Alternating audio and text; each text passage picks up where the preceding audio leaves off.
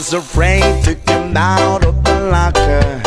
She was as nervous as she could be. She was afraid to come out of the locker. She was afraid that somebody would see. Two, three, four, tell the people what you wore. It